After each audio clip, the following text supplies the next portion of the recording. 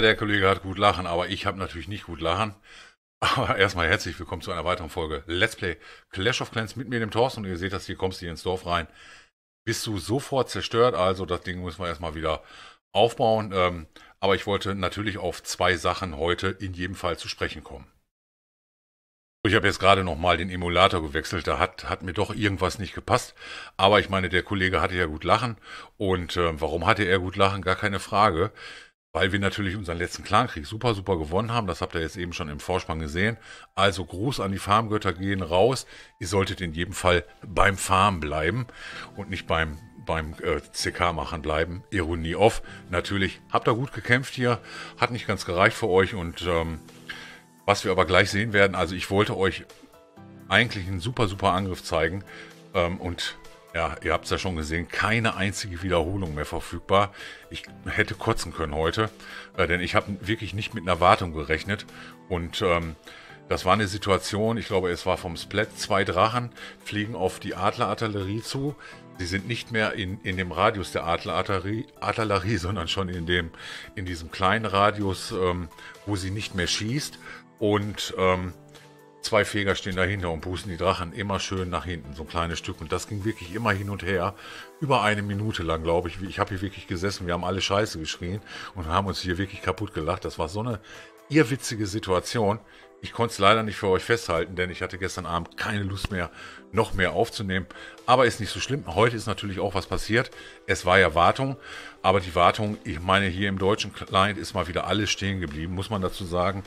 Ähm, der Confederations Cup ist schon ewig vorbei und ähm, beziehungsweise zumindest das Spiel hier ist vorbei. Äh, dass wir ein neues Jahr haben, wissen wir auch. Und ähm, dass es auch neue Preise gibt, wissen wir auch. Also müssen wir das Ding hier mal wieder auf nicht da, sondern hier auf Englisch stellen. Und ihr seht, ich bin hier getrennt an dem Gerät, an einem anderen Gerät bin ich mit einer ID verbunden. Das ist auch ganz witzig, weil ich den hier jetzt gerade ganz neu eingerichtet habe. Also stellen wir hier einmal mal wieder auf Englisch um und dann sehen wir auch das, was heute eigentlich passiert ist. Denn heute hat der, ihr seht das hier jetzt auch schon, das leuchtete gerade rot. Ähm, hier hat heute der Batspell ja, sein, sein Balance Changes bekommen, also sein, sein Nerf bekommen. Ähm, das, ihr, ihr, nicht, nicht ihr, sondern viele, viele haben lange genug wahrscheinlich gemeckert. Und ähm, das war aber so ein bisschen abzusehen, denn der war wirklich, wirklich stark. Und ähm, ihr seht das hier auf Level 1 macht er jetzt nicht mehr 10. Ähm, 10 Fledermäuse, sondern nur noch 7. Und ich meine, auf Level 5 macht er nur eine Fledermaus weniger. Ähm, aber die, ähm, der, oder bei der ersten Attacke ist das Delay jetzt etwas größer, wo die anfangen zu feuern und äh, von einer Sekunde zu 1,5 Sekunden. Das ist schon wirklich, das ist sehr, sehr viel, das glaubt man nicht. Ähm, wir haben den aber heute schon getestet und ähm, er funktioniert immer noch ganz gut. Also er funktioniert immer noch ganz gut. Ich muss mal gerade gucken. Ich glaube hier oben hat ihn jemand auf die Base von Felix getestet, ja. Und ähm, er funzt also immer noch und ja, der Jakuza ist hier aber tatsächlich jetzt mal auf zwei Sterne gegangen und ja, ich denke mal, nach wie vor ist damit was zu reißen, auch wenn er jetzt ein bisschen äh, genervt wurde. Ähm, mal sehen, wie sich das im Spiel auswirkt. Da gibt es sicherlich jetzt wieder andere Taktiken, ähm, um diesen Spell hier jetzt nach wie vor einzusetzen. Ich meine, es ist ja nach wie vor ein guter Spell. Wofür brauchst du diesen denn ansonsten noch, wenn du ihn jetzt nicht ähm, effektiv einsetzt? Und ähm, es gibt ja einige Zauber, die die werden auch so ein bisschen stiefmütterlich behandelt. Ihr wisst das selber von mir, der Erdbebenzauber. Ich meine, ab und zu mache ich mir die Mauern auch mit dem Erdbebenzauber dann auf, auch wenn ich der absolute Erdbebenzauberhasser bin. Aber gerade zu Zeiten, wo ich so viel Dunkles habe und ein bisschen Elex sparen muss, wisst ihr aus den Farmfolgen, da ist es natürlich so, dass ähm, ich dann das Dunkle raushaue. Also da sind mir dann die Zauber natürlich auch egal, möglichst viel Dunkles und äh, um halt Elex zu sparen, denn so ein Sprungzauber ist dann schon extrem teurer und auch die anderen Zauber, Heilzauber, Wutzauber gegenüber dann, ich, ich nenne es mal so vier Erdbebenzaubern und deswegen glaube ich, kann man die immer noch gut gebrauchen, zumindest hier die Fledermäuse, also gar nicht mal schlecht. Ähm, ja, kann ich euch halt keinen Clankriegsangriff zeigen, da muss es bei so einer Friendly Challenge bleiben hier. Äh, wir gehen aber gleich farmen mit diesem Account hier Ähm, ich hatte ja gestern schon angekündigt, wird ein bisschen farmlastiger diese Woche. Und ähm, ich glaube, ich muss hier noch zweimal mit diesen Hexen angreifen. Auch das bleibt nicht aus. Ich äh, werde aber auch dort zwei verschiedene Armeen mal bauen, um die Hexen halt so ein bisschen, so ein bisschen abzutesten hier auch für euch und ähm, zumindest für die Rathaus 9er, so als Taktik. Ich habe hier noch keinen Max-Level, aber der Chief hier wird der nächste, mein nächstes Rathaus 10 werden. Ich habe ja ab morgen kein Rathaus 10 mehr für euch. Und ähm, denn der Avatar wird, glaube ich, morgen oder so oder übermorgen äh, wird der Rathaus 11 und damit habe ich erstmal dann keinen Zehner und deswegen muss ich hier den Chief halt so ein bisschen bemühen.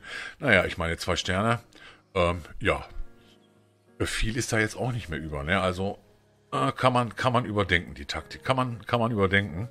Und ähm, ich glaube, ah ja, meine, meine Klarburg ist natürlich noch voll, weil ich leg, ich leg die immer pennen. Dann äh, habe ich die nämlich immer noch. Und äh, ja, fünf Bowler, perfekt. Habe ich ein bisschen Hexenvolk dabei? Ja, ich habe Hexenvolk dabei. Zwei Wut, zwei Sprung, vier Heiler, zehn Hexen. Ich denke, ihr kennt diese Kombi, zumindest die Rathaus Neuner.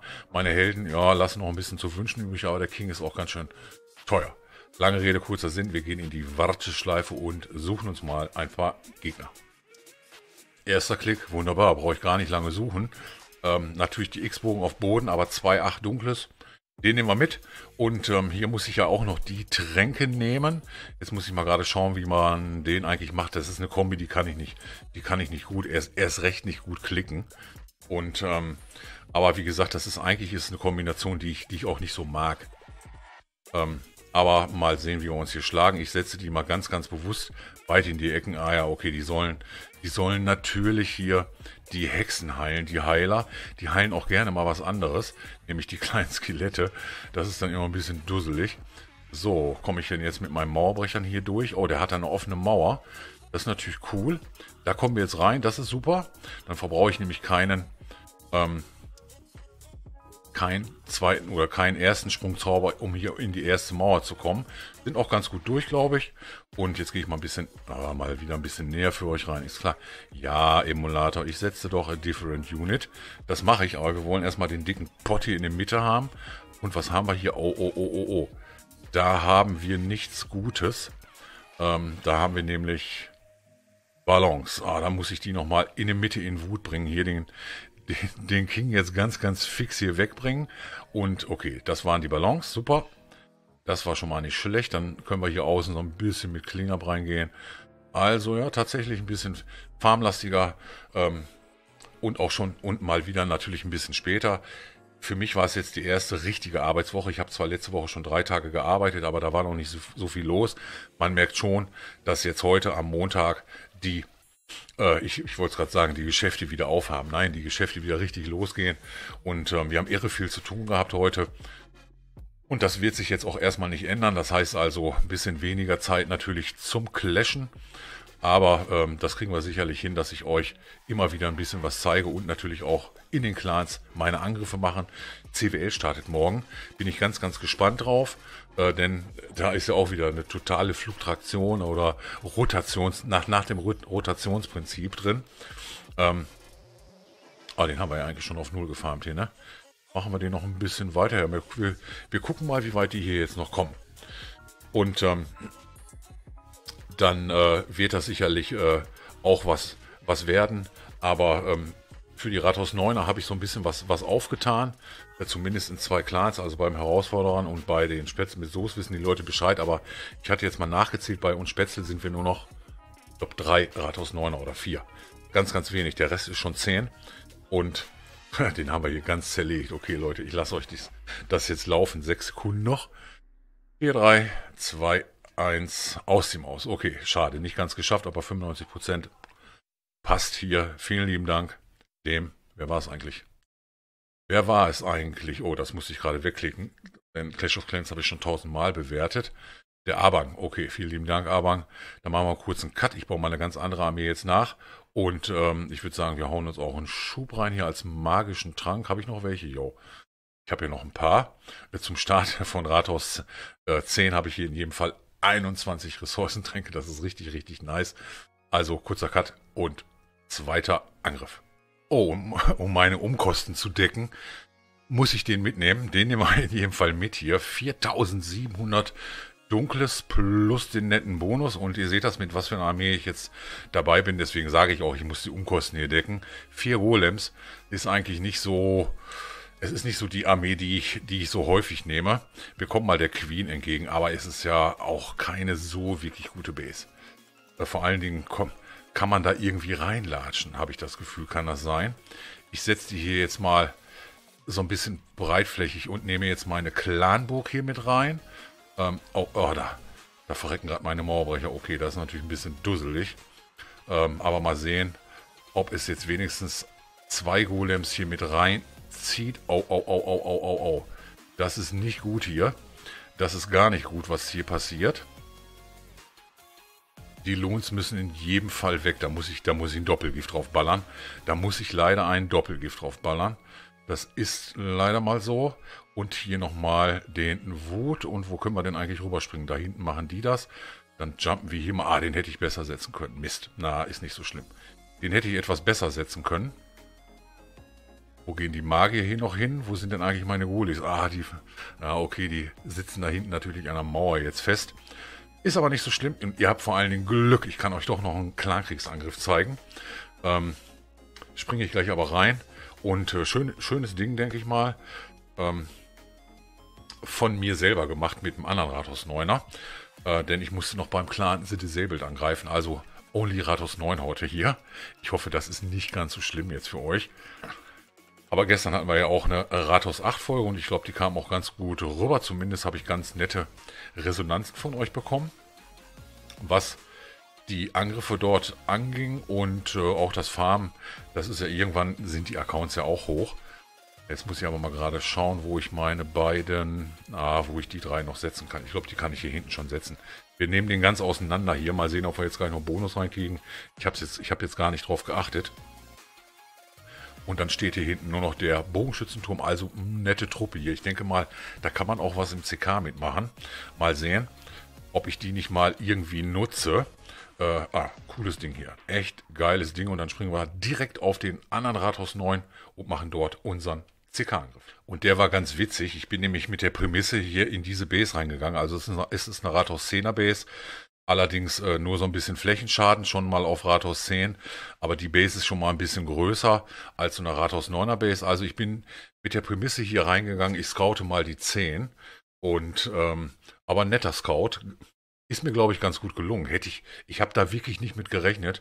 Und äh, umso schöner ist, dass ich euch jetzt noch ein Gohok zeigen kann. Ihr seht das hier, mein Golem schafft nicht mal das erste Feld. Ich meine, brauchte der auch nicht. Ziel war es nur, die CB hier rauszulocken und die Queen zu schaffen. So eine CB übrigens mag ich gar nicht. Ähm, denn wenn der Elektrodrache natürlich jetzt gleich hochgeht, dann beziehungsweise wenn der mal richtig Dampf ablässt, der Gift war nämlich nicht so super geworfen, ähm, dann ist ganz schön Essig mit den, mit den Truppen. Und ähm, ich habe aber, glaube 28 Hawks waren es, die ich jetzt so ein bisschen versuche hier Surgical zu setzen. Also wie gesagt, ich habe nicht damit gerechnet, dass das hier ein 3-Sterne-Angriff wird. Die Teslas hatte, ah ja, okay, ist klar, Teslas sind natürlich schon mal maxed. Und ich glaube, der ein oder andere X-Bogen, ja, da ballern sie, ist auch schon auf Ratos 10 Niveau, also Donnerwetter. Toto, der war, der war mal nicht schlecht nach der ähm, letzten Woche, wo ich ja nur die 99er und 98er hatte, ähm, doch mal wieder ein 100er zu, zu zeigen, ist ja auch so ein bisschen beruhigend, dass es noch, dass es noch klappt. Ah, hier hinten ist auch der große Magierturm, also der, der schon auf Level 10 ist, allerdings erst ein Level hochgegangen. Und ähm, hier habe ich eigentlich schon gedacht, oh, jetzt, da schießt er jetzt gar nicht mehr so viel. Und ähm, ja, nur noch der eine Tesla hier und dann ist das, dann ist das gewesen. Ne? Kurz noch den King hier umballern. Ich meine, 12er King, das ist jetzt für 5er Hawks Kinderspiel. Ja, und dann ging es jetzt nur noch ums Cleanup. Oh, schade, mein, mein King hat es ja doch noch zerrissen. Aber besser den King als die Schweinereiter hier. Denn die machen hier jetzt noch ein bisschen, bisschen Ordnung in der Base. Die räumen nämlich ganz bis zum Schluss ab. Also krasses Ding hier. Ich hätte wirklich damit nicht gerechnet, dass ich den auf 3 bringe. Und ähm, aber umso schöner, den habe ich jetzt vor wirklich ein paar Minuten eben am Tablet in so einer kurzen Drehpause gemacht. So geht das hier bei mir. Und ähm, denn ich gehe mit dem Account hier, mit dem Donnerbengel Liga spielen. Wir haben nämlich einen zweiten Clan aufgemacht, The Disabled 2. Und dort spielen wir natürlich mit den Liga, die hier nie zum Zuge kommen. Sonst hätte ich hier wieder eine Woche zugucken müssen. Und ähm, so geben wir auch unseren Rathaus Neunern die Chance, an der Liga teilzunehmen. nur teilzunehmen. Ja, in welcher, wo wir dann eingruppiert werden, wissen wir noch nicht, aber ich denke mal, dass wir uns da wenigstens ähm, ganz gut schlagen. Wir können ein paar Marken mitnehmen. 100 Prozent, Alter, ist das geil. Guter Scout, ne? Ich scoute euch mal die 10 und ähm, da gehe ich jetzt in jedem Fall rein. Also wir führen 38, 32 hier. Ich denke mal, das Ding gewinnen wir auch. Und ähm, die, die den Clan ja kennen, äh, wir sind auf, auf einer guten Spur. Ihr seht das hier nach der Übernahme.